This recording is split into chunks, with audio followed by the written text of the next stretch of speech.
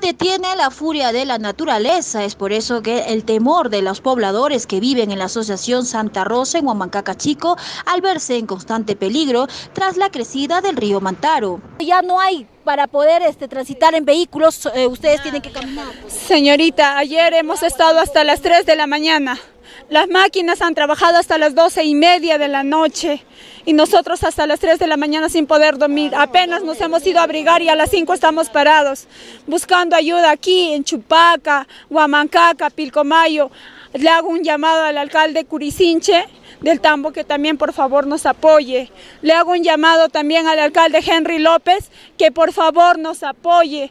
Se muestran desesperados y piden que no se permita que esta emergencia llegue a reportar muertes y pérdidas de sus casas. Por favor, señor presidente de la región, quiero que nos ayuden. Mira cómo está, somos muchos acá, mis vecinos, todos, por favor. El río ya está, mira dónde está. Por favor, quisiera que nos apoyen todos.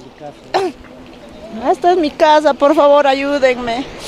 Ellos denuncian que la extracción de material ha provocado que esta emergencia sea mayor. Sin embargo, las autoridades no habrían tomado medidas inmediatas para evitar el peligro que corren. La negativa, la, el desagrado de toda esta comunidad, ¿por qué? Porque si estos eh, directivos que han sido anteriores nunca nos han hecho respetar, nunca han dicho esto vamos a hacer, lo hubiéramos registrado años y años, no más por el contrario, han apoyado a esas personas que les gusta vender lotes, revender ¿Qué distancia había de su propiedad con el río? 180, ¿no? 80. 180, algo así, mamita. Algo así. Sí, era una gran distancia. Sí, hasta había una planta de arbolización. Teníamos nuestro campo deportivo, señorita.